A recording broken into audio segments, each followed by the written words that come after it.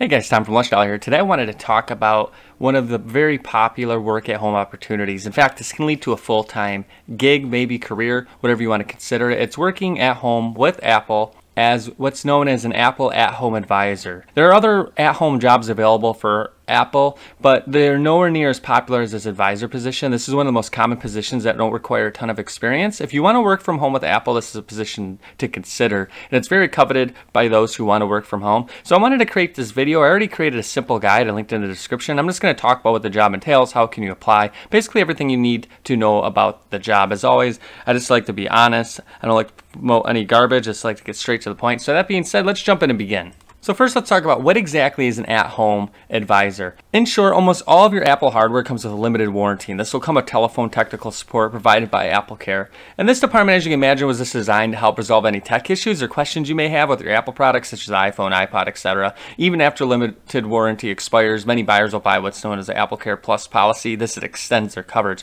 So this is where your position would come in. These are call center jobs. A lot of them are home-based, and again, it's referred to as the at-home advisor. And this position is usually the first point of contact contact, you would basically be responsible for troubleshooting or assessing the issue for a customer in regards to any of the Apple devices I mentioned prior. And in most cases, you'll deal with customers over the phone, but there are chat and email only jobs available. Most of the time, it will be over the phone.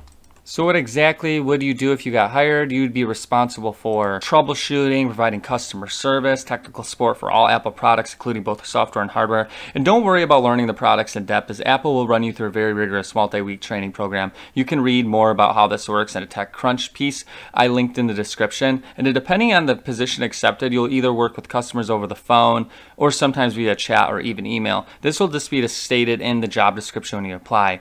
And the question is, am I an independent contractor? A lot of these at-home jobs I mention off often allow you to work as you please. Since you're an independent contractor, by definition, an independent contractor can work as he or she chooses. Unfortunately, this isn't the case with this job. You'll be viewed as an employee, but on the plus side, you will get benefits, perks, such as paid time off, um, product discounts. You can even grow within the company. So that's huge if you're looking for a job rather than one, such as a lot of the opportunities that I mentioned. And another big thing is when would I work? According to Apple, you should be expected to work during Apple support hours, but these shifts vary based on business needs. Usually the hours are 7 a.m. to 11 p.m. Central Time, but during the summer months, for instance, it's said to be slow.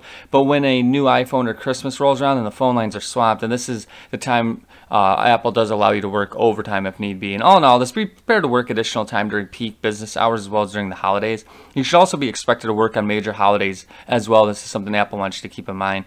All advisors will receive holiday coverage schedules, so you know ahead of time what's expected of you. In terms of who can qualify, as with a lot of jobs, you do need to have some qualifications in order to qualify the, for the job. And one, they say you need to be passionate about technology and experience in computers, loving to help people is a plus as well. And aside for having that passion for technology and experience computers, you should at least have two years of customer service experience, whether it's in person or over the phone. Apple doesn't specify it has to be in the tech sector, but if you worked at a grocery store or customer service desk, it can be viewed as having that appropriate experience. And while you don't need to be an Apple junkie, it does help to know the Apple products. They just note that perfect candidate will work independently, they'll love helping people, you'll be good at multitasking, and just enjoy troubleshooting. And if you're shaking your head yes to all these, then you could be considered one for the job. You don't need a lot of experience, nor do you need to have master's degrees or whatnot. The experience helps, but it's very limited as mentioned. So what exactly does Apple pay its at-home advisors? Well, the thing is, Apple won't come out and tell you. In fact, they'll say, we'll discuss this during the interviews. But the cool thing is about the internet, you can find just about anything. And what you're going to find is that the average base pay, as you can see, is going to be around $19 an hour. But this can range anywhere from 11 to $25 an hour, what I read. And many Apple employees report that they were in the sweet spot of 11 to 15 per hour. But I found, found that it just depends on your region. You're not going to get rich doing this job, but there is room for advancement as mentioned in the perks earlier, so you can greatly increase the hourly rate. When you get paid, as with any, any job, it really just depends on your seniority. The longer you work, the more you can make, of course. Another thing you're going to want to keep in mind are the home office requirements. And as you're working from home, Apple does ask that you work in a quiet, private environment that's distraction free. This should be a room with a door separated from the rest of your home. And this room, according to the frequently asked questions, should be fitted with a desk, chair, hardwired, not wireless internet connection from a reliable provider, and you should have a speed that's consistent to at least 10 megabytes per second for downloads, 3 megabytes per second for uploads while you're connected to their VPN. Now the great thing is you don't need to worry about your computer as Apple does provide you with an iMac and headset And they'll also reimburse you for your internet service. This will be discussed during the recruitment process, but this is said to be about $35 or so. This is pretty rare, so this is a great perk to have that you don't have to worry about the equipment.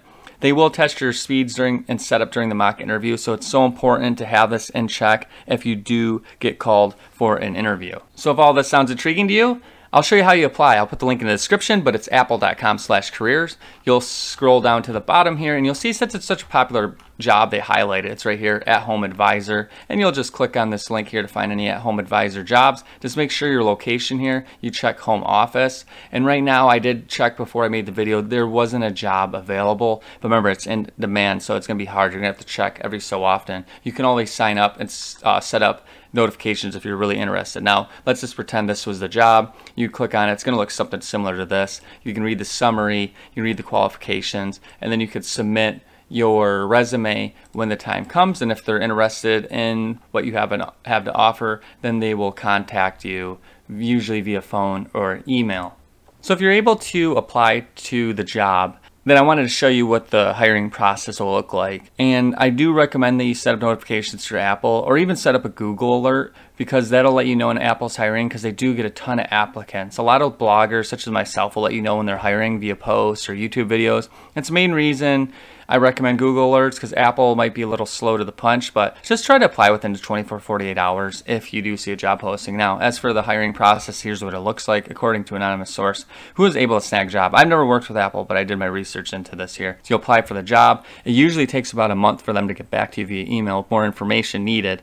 And then it's another month to get set up for the interview. And the first interview is about a week later from setting up. Second interview is a few days later if you made it that far. And then you'll hear back about 10 to 14 days after the second interview to move on with the background check and the job offer, which is contingent upon that check.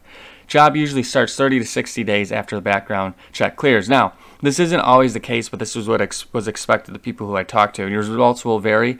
So if you do apply, it could take you up to six months from start to finish. And it's quite a long time in the most comparison to most jobs that work like this. So if don't my point is don't get discouraged if you apply and don't hear back the next day. It may take a month or so and even if you start interviewing it could take you up to six months to start working. As with all of my reviews i like to look at the pros and cons. Let's just start out quickly with glassdoor. This is a pretty reputable site. More than 93% approve of the ceo 84% recommended a friend. And the advisor itself 1400 reviews gave it a 4.1 out of 5 that's pretty good for this site because a lot of people do downplay the companies they work for. And what I found in the pros is they had fantastic benefits such as 401k, stock options, healthcare and discount. You work from home. There's advancement opportunities, great coaching staff, and it's flexible. But as with anything, there's cons. Cons, there's lots of overtime when a product launches. You do have to bid on your schedule, which can make it hard to plan for life. From what I read, some reports being micromanaged, dealing with difficult customers. That's be said with any customer service job.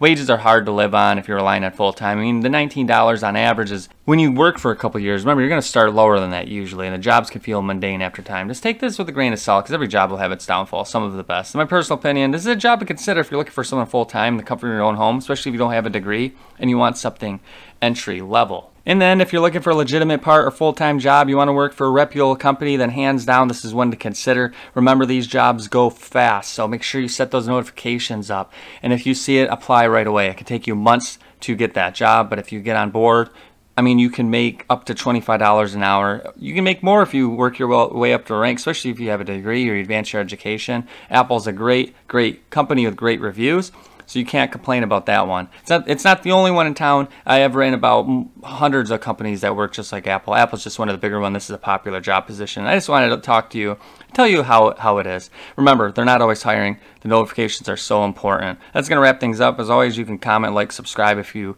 like the video. That always helps me out. Check out lushdollar.com. I have hundreds of articles that are just like this. Ways to make money, be smart with money. I just inform whether you want to make a dollar, a thousand dollars, whatever it may be. The videos I keep adding as well, they'll do it. I will see you guys next time.